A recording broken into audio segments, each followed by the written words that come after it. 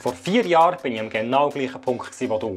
Unsicher, ob das ISTL wirklich das Richtige ist für mich. Lange habe ich hin und her überlegt, aber habe mich dann entschieden, das Studium zu machen. Jetzt äh, habe ich das ISTL frisch abgeschlossen.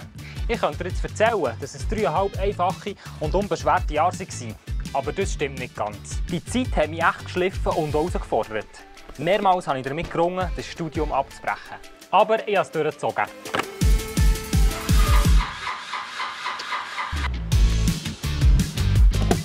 Die Zeit hat mich gelernt, auch bei Herausforderungen dran zu bleiben, immer wieder aufzustehen und nicht aufzugeben. Dazu ist mein Glaubensleben gewachsen und ich habe mir viel Wissen aneignen. Wenn du also eine ruhige und einfache Studienzeit willst und dich nicht mit dir selber auseinandersetzen dann melde dich bitte nicht an. Wenn du aber herausgefordert werden in deinem Glaubensleben, in deinem Charakter und in deinen Kompetenzen zu wachsen, dann ist das ISTL dein Platz.